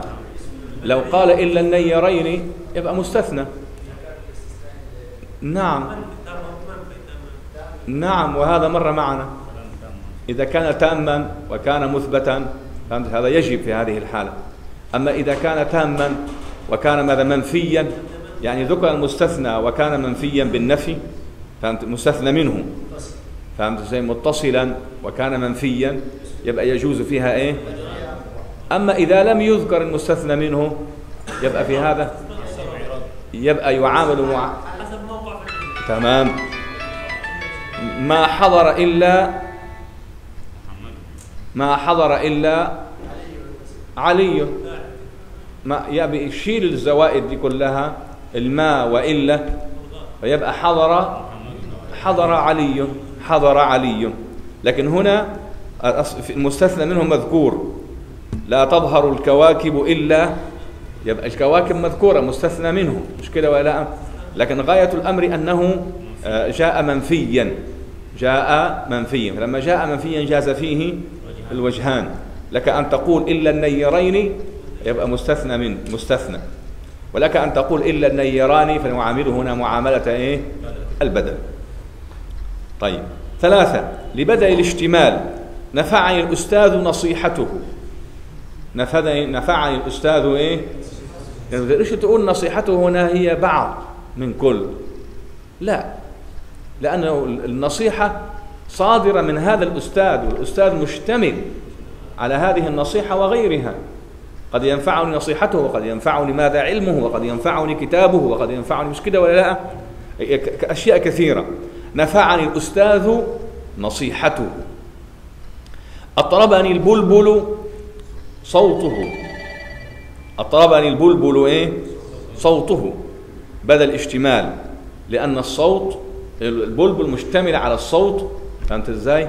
والصوت إذا بدل ماذا؟ من من البلبل. انظر إلى الماء جريانه.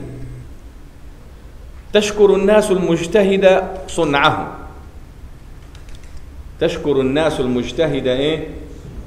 هو شاكرين المجتهد لكن المجتهد الشاكرين حيجتهد ممكن يشكروه في أشياء كثيرة. لقد كان هنا شكروه ماذا؟ على جهده. يسعني الأمير عفوه. ماشي. بدل اشتمال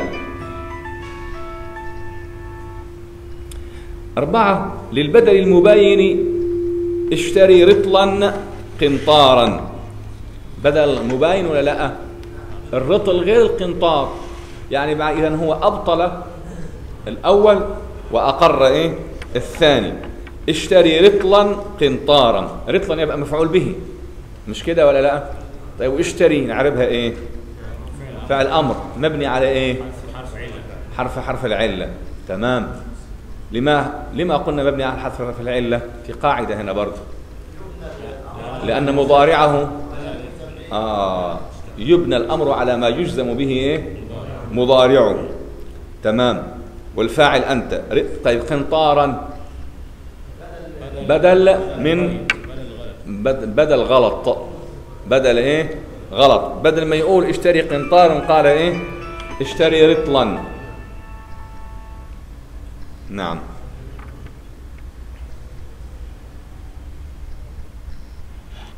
السلام عليكم. صالح لا تفضل أنا في المجلس. يا لا تفضل. نعم. طيب بحول الله إن شاء الرحمن الرحيم. مشكورا يا صاحبي. هاي. طيب إن شاء الله بإذن الله. نتحدث إن شاء الله. بإذن الله. بإذن الله. يعني كل ما كان بدري كان أحسن. آه. التسعة كويس عشرة كويس. طيب نتحدث كمان بعدين إن شاء الله برضه. بإذن ماشي وهو كذلك بإذن الله. متشكرين حق صالح. الله معك بسلامة الله. الله معك حبيبي بسلامة الله. اللي ضروري لأنه حيضل يرن يشوش علينا طيب. أربعة للبدل المباين اشتري رطلا قنطارا. لا تأمن الخائن على ذهب على ذهب نحاس. فهمت إزاي؟ لا تأمن الخائن على ذهب نحاس. هذا اسم بدل إيه؟ هو كان عاوز يقول نحاس. أخطأ فقال ذهب. طبعا على ذهب لا تأمن لا الخائن ولا غيره. مش كده ولا لأ؟ اي نعم. طيب. أخرج إلى اللص بعصا سيف. بعصا سيف. هو الأول قال له بعصا بس هذا غلط. هو قصده إيه؟ سيف. طيب. الحق الفار راكبا حمارا فرسا. يعني الحق الراكب استعجل في الكلام بدل ما يقول له راكبا فرسا قال له إيه؟ حمارا فرسا. لما يسمعوه العام الكلام ده ده بيقولوا إيه؟ فهمت إزاي؟ لكن دي قواعد. طيب. أعطي السائل ثلاثة أربعة. نعم. يبقى أضرب عن الثلاثة وأقر إيه؟ نعم. أعطي السائل ثلاثة أربعة. تمرين. علم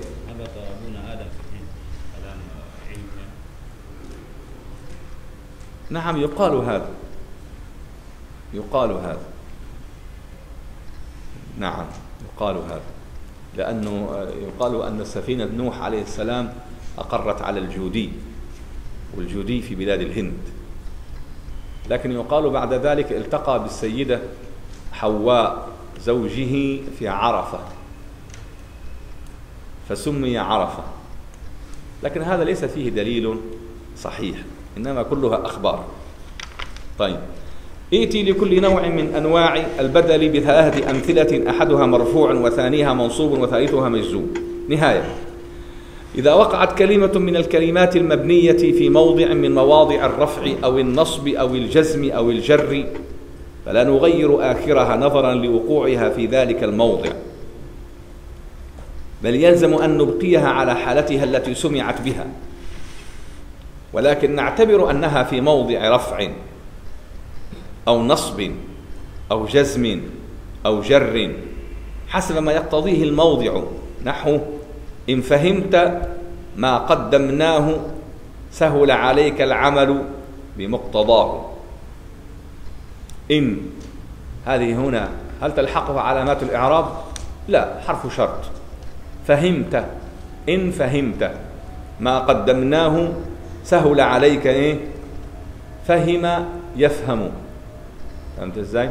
إن فهمت ما قدم شوف قال فهمت فهمت يبقى فهم فعل ماض وفعل ماضي يبنى على الفتح. لكن جاء هنا ماذا؟ بالسكون. يبقى نقول إيه فعل ماضي مبني على الفتح ولا مبني على السكون؟ لا مبني على الفتح. وحرك بالسكون.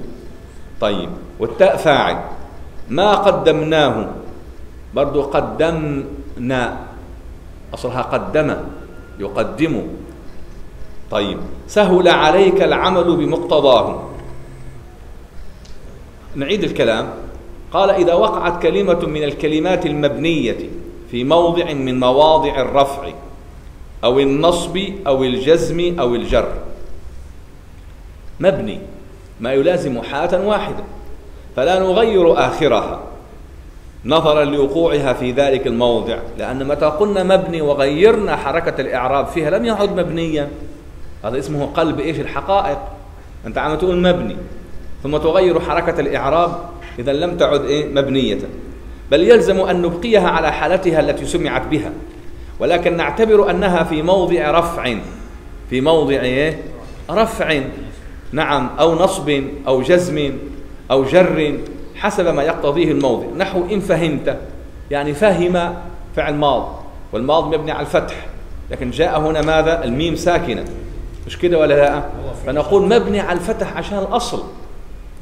وحرك بالسكون لاتصاله بتاء الفاعل. يبقى من الخطأ أن نقول فهمت فعل ماض مبني على السكون. لا مش مبني على السكون. إنما وحرك بالسكون لاتصاله بتاء الفاعل. هو فعل شرط. نعم وهو فعل الشرط طبعا. ما قدمناه ما طبعا ما مفعول به. أنت شو مبني على السكون في محل نصب مفعول به أو مبني على الفتح. طيب ما نقولش فهمت ما. لكونه مفعولا به تقول مفعول به منصوب. لا إنما ما مبني اسم, موصول يعني الذي. مبني على السكون في محل نصب في محل نصب إيه؟ مفعول به ما نقولش مفعول به منصوب. قدمناه. قدم قدمنا. يبنى مبني على الفتح ولا على السكون؟ وحرك بالسكون لاتصاله بتاء بناء بضمير بضمير متكلم. ما قدمنا. طيب ناء ضمير هنا. نقول فاعل. يبقى مبني على السكون. في محل إيش؟ رفع فاعل. والهاء مفعول به. نقول مفعول به منصوب؟ لا. يبقى ضمير مبني على السكون في محل نصب مفعول به. سهل عليك. شايف؟ كمان برضو. الكاف في عليك. نقول الكاف ضمير متصل مجرور اسم مجرور بعلى نقول لا ضمير متصل مبني على الفتح في محل جر بإيه؟ بعلى. طيب سهل عليك العمل واضحة؟ بمقتضاه مقتضى مقتضاه. يبقى مقتضى مجرور بالباء وعلامة جره إيه؟ الألف المقدرة على الكسرة المقدرة على على الألف. تمام. لأنه اسم إيه؟ اسم مقصور تمام. طيب الهاء هنا برضو ضمير متصل مبني على على الضم في محل جر بإيه؟ بالإضافة. في محل جر بالإضافة. طيب.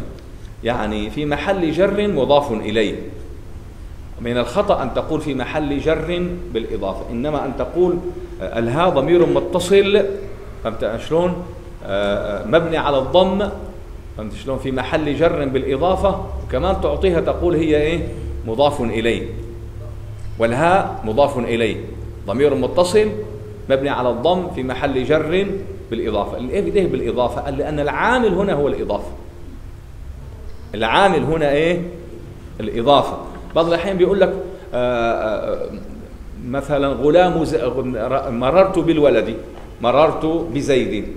يقولون بزيد اسم مجرور بالكسرة. اسم مجرور إيه؟ بالكسرة. هذا خطأ. اسم مجرور بالباء. وعلامة جره إيه؟ الكسرة. فهمت عني شلون؟ فلما قلنا بالإضافة معنى ذلك العامل في الجر في المضاف إليه ما هو؟ الإضافة. وهذا العامل إيه؟ معنوي. وأنه هو أحد عاملين اثنين معنويان لا غيرهم لا يوجد غيرهم في العربية. العامل الأول الابتداء معنوي والعامل الثاني الإضافة أيضا معنوي. تقول زيد مجتهد زيد مبتدأ مرفوع. وعلامة رفعه الضمة مرفوع بإيه؟ الابتداء. إذا مبتدأ مرفوع بالابتداء. كده العبارة الصحيحة. مبتدأ مرفوع بإيه؟ بالابتداء. وعلامة رفعه كذا وكذا. طيب تقول غلام زيد. غلام مبتدأ وزيد مضاف إليه. مجرور بإيه؟ بالإضافة. مجرور بإيه؟ بالإضافة. فالعامل هو الإضافة. أمثلة. للمبني الواقع في محل رفع. المبني تفضل مرحبا. الواقع في محل رفع أكرمت شايف؟ أكرمت. هذا مبني.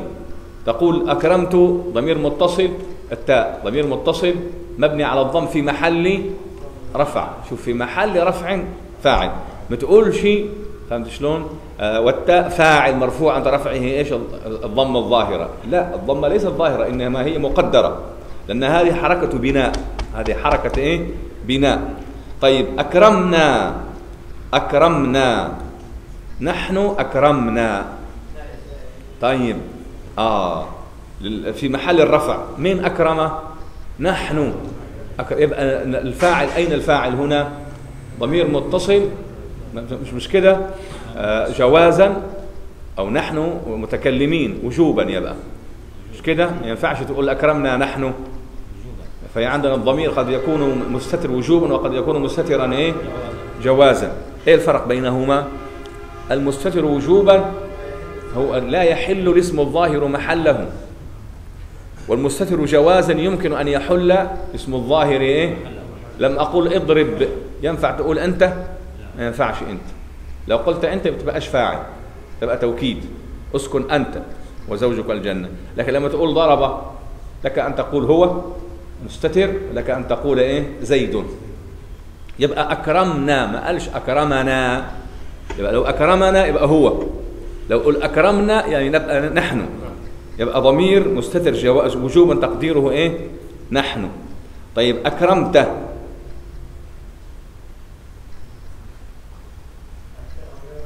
التاء فاعل. مش كده؟ أكرمت أنت. ضمير متصل مبني على الفتح في محل رفع فاعل. أكرمت. نعم. يبقى هنا أكرمنا. لا النون هنا هي الفاعل. أكرمنا النون هنا هي الفاعل. نحن أكرمنا. يبقى نون ضمير متصل مبني على السكون في محل رفع إيه؟ فاعل. أكرمت برضو التاء ضمير متصل مبني على الفتح في محل رفع فاعل. وهكذا نقول. أكرمتما.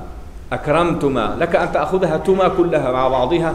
تقول ضمير متصل مبني على السكون في محل رفع فاعل. ولك ان تقول تو ضمير تاء ضمير متصل في محل رفع فاعل. طيب والتاء والميم. نعم.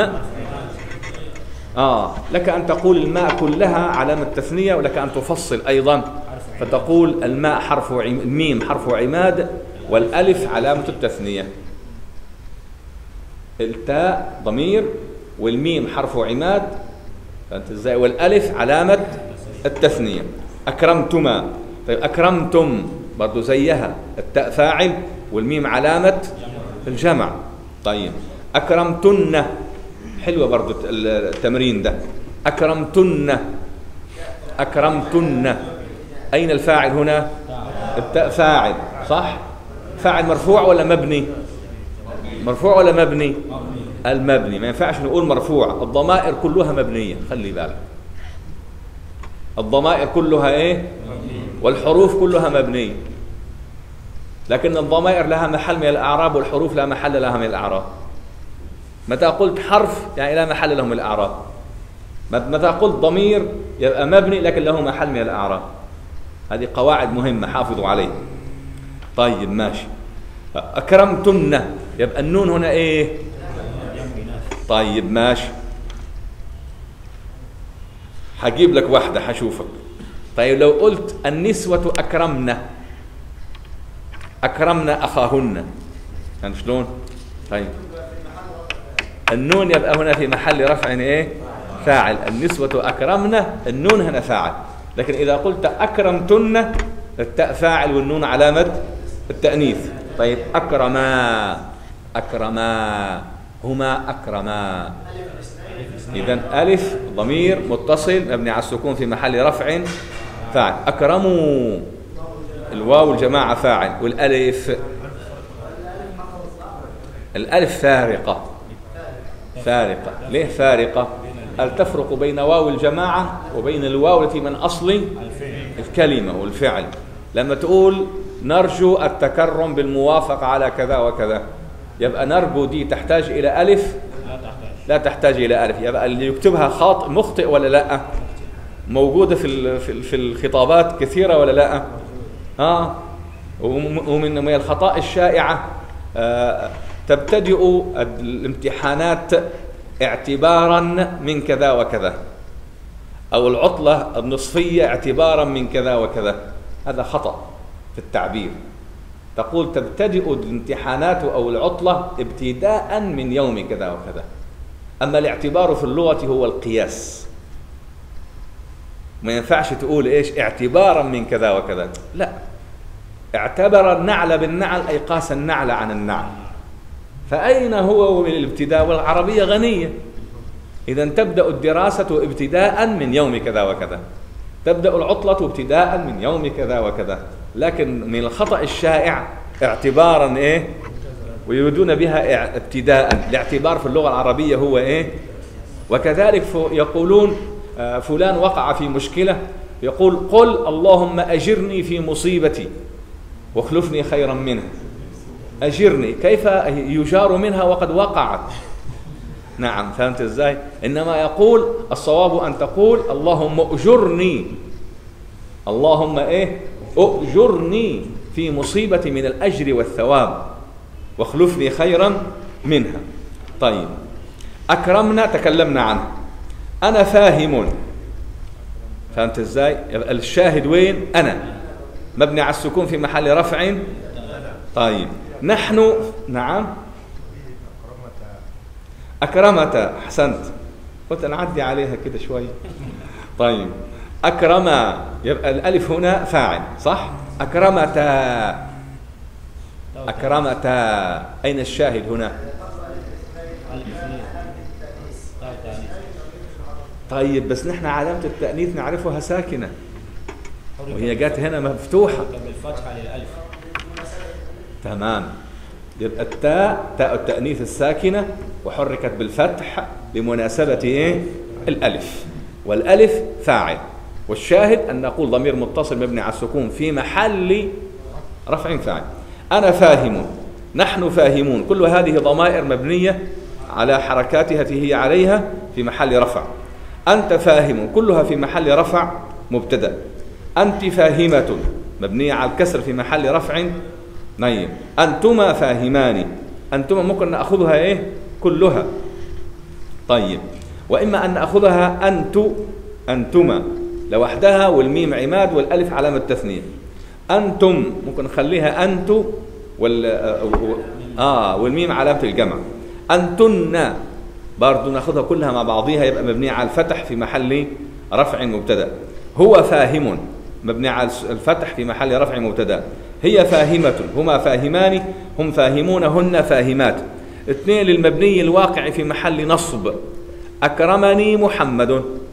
أكرمني محمد. يبقى أكرمني الياء. مبني على السكون. محي نصب. تمام. طيب وأكرمنا. يبقى ال- الناء في محل محل نصب. أكرمك الكاف في محل نصب مبني على إيه؟ على الفتح. وأكرمك مبني على الكسر في محل نصب. وأكرمكما كان ناخذها كلها مع بعضها نعم ممكن نفصل وممكن نقول الكاف ماذا؟ مبني على الضم في محل نصب والميم عماد والألف تثنية. أكرمكم ممكن ناخذها كلها. كم كلها مبني على السكون في محل نصب. وأكرمكن. واكرمه وأكرمها وأكرمهما وأكرمهم وأكرمهن. المبني الواقع في محل جر كتابي. أنتم شايفين ضمير الماء المتكلم. إذا التحق بالأفعال يبقى إيه؟ مفعولا به. وإذا التحق بالأسماء يبقى إيه؟ مضاف إليه. دول ثلاث حروف. كهي كاف والهاء والياء.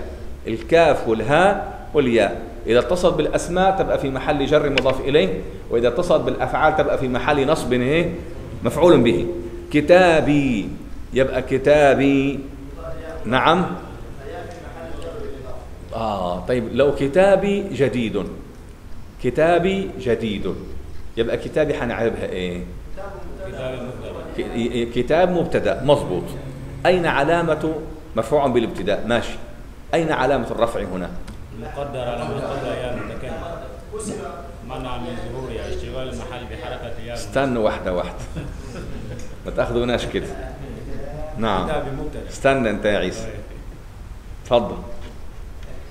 كتابي أعرب ضمة مقدرة لكسر ما قبل المتكلم للمناسبة يعني. طيب يعني قاربت. يبقى هي ضمة مقدرة على ما قبل ياء المتكلم.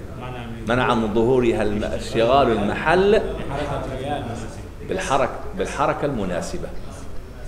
إذا يبقى نقول كده كتابي مبتدأ مرفوع بالابتداء وعلامة رفعه الضمة المقدرة على ما قبل ياء المتكلم منع ظهورها اشتغال المحل بالحركة إيه؟ المناسبة وهي الياء.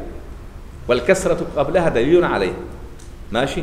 طيب ياء ضمير متصل مبني على السكون صح؟ طيب في محل يا إليه في محل جر مضاف إليه. فما فمنقولش مجرور الياء فهمت شلون؟ يا آه، مجرور. لا نقول مبني يظل على بنائه. كتابنا يبقى أنا أيضا ضمير متصل مبني على السكون في محل جر مضاف إليه. كتابك يبقى في محل جر مضاف إليه. كتاب كتابك كتابكما. كتابكم كتابكن كتابه. كتابكن. برضو نفس الشيء. نقول كن أو الكاف لوحدها والنون علامة الاسم النسوة علامة التأنيث نون النسوة علامة التأنيث. فيبقى نقول الكاف مبني على الضم في محل جر مضاف إليه. كتابه كتابها. هي هي هي الضمير أو الألف الورقية لا ها- كلها. كتابها. ناخذها كلها مع بعضها لا نقول الهاء كلها لوحدها. هاء مبني ضمير متصل مبني على السكون في محل جر مضاف إليه. مثل كتابه. كتابهما. لأن أصلها بالأول كتابه. بعدين زدناها الميم والألف التثنية. أو ناخذها كلها مع بعضها كتابهم أصلها كتابه. لما جمعناها بقت إيه؟ المؤنث آه. يعني يعني إذا قلت الهاء لوحدها فتخلي الألف هنا علامة التأنيث. لأن من أين فهمنا التأنيث؟ من الألف. يبقى علامة إيه؟ تأنيث. فأنت شلون؟ لما تقول حبلى وصغرى وكبرى وهكذا. طيب. كتابهم كتابهن. أربعة. للمبني الواقع في محل الجزم. إن أحسنتم أحسنتم لأنفسكم. يبقى إن أحسنتم أحسن أحسن. مش كده ولا لا؟ إيه أح أحسن؟ يبقى مبني على الفتح. مش كده؟ في محل جزم ماذا؟ بإن لأنه فعل الشرط. أحسنتم الثانية مبني على الفتح في محل ماذا؟ في محل جزم إيه؟ جواب الشرط وجزاؤه. لأنفسكم اسم مجرور. طيب. من صبر نال. من صبر نال. برضو مبني على الفتح في محل آه، جزم بمن. ونال يرد كمان في محل جزم جواب الشرط إيه؟ وجزاؤه. وفي هذا القدر هنا كفاية عند نقف انتهينا من الكتاب الثاني وفي الدرس القادم إن شاء الله نبدأ بالكتاب الثالث إن شاء الله عز وجل. قولوا جميعا. نعم. ما يعرف في بعض الكتب فعل الماضي مبني على يعني للتسهيل على المبتدئين. نعم.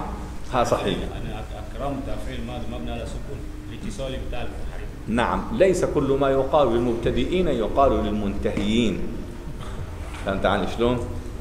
فبعض الأحيان لا تستطيع أن تعلم الطالب المبتدئ وهو يقرأ التجويد كل أحكام التجويد وهو في أثناء الحفظ. لا أعلمه القراءة الصحيحة وخلاص. وشيئا فشيئا ذوقه. وحتى الأحكام مش كلها مرة واحدة. وكذلك هنا حيتعود الإعراب يعودونه هكذا يمشي أول ما تيجي معه إن بحياته ما سمع إن دي؟ بحياته ما سمع كان؟ لما تقول إن حرف توكيد ونصب. إيه التوكيد؟ حرف ناصب؟ أداة نصب. حتى الحرف عشان ما يبقاش هو ما زال لا يفرق بين الحرف وبين أو يصعب عليه التفرقة فقل له أداة إيه؟ نصب. وهكذا. نعم يص- أنا وزميلي نعمل نعمل مدرسات للمرحله الثانويه بالازهر يعني حتى في الفيديو هنالك آه، أيضا آه، يقال مثلا في الماضي المتصل مبني على السكون مبني مثلا المتصل بالتاء والناء مبني على السكون أيوة لأنه النظم في النظم يعني قد لا تسعفه العبارة لكن التحقيق هو هذا. التحقيق أنه الماضي مبني على الفتح مبني. وإنما الحركة التي جاءته هذه حركة عارضة. وليس ليس حركة ماذا؟ أصلية. أيوة أيوة هذا هو التحقيق. لكن للطلاب يعني يتساهلوا معه تيسيرا له تيسيرا لهم. لأن عقولهم ابتداء ما زالت حتى لا يتشوشوا. حتى إيه؟ لا يتشوشوا. لذلك قالوا كل لكل عاقل بمقدار فهمه عقله وزن لكل عاقل بمقدار عقله. يعني كل لكل فاهم بمقدار فهمه وزن لكل عاقل بمقدار إيه؟ عقله. وال- والاستدراج والتدرج بالطلبة في تعليم المسائل هذا يكون ماذا من الحكمة بمكان. وهذا من حكمة ماذا؟ ومن توفيق الله سبحانه وتعالى للأستاذ المدرس حتى يحببهم في المادة. أستاذ أستاذ اثبت الألف في المضارع. قال نعمل نعمل نعم. هو جاء بالألف بعد نون. قال نعمل. نعمل. نعم. طبعا لأنه هنا يعني هو أراد عامية أقرب إلى الفصيح. نعم. أنا وزميلي نعمل. نعمل نعم. نعم. لا أنا وزميلي نعمل. نعم. والحمد لله رب العالمين. قل جميعا جزا الله عنا سيدنا محمد صلى الله عليه وسلم ما هو أهله. جزا الله عنا سيدنا محمد صلى الله عليه وسلم ما هو أهله. جزا الله عنا سيدنا محمد صلى الله عليه وسلم ما هو أهله. سبحان ربك رب العزة عما يصفون. وسلام على المرسلين. والحمد لله رب العالمين. تقبل الله منا ومنكم. وإلى غد إن شاء الله تعالى.